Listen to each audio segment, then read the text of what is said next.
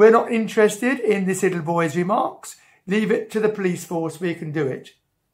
And anyway, why are you so interested in this whole thing?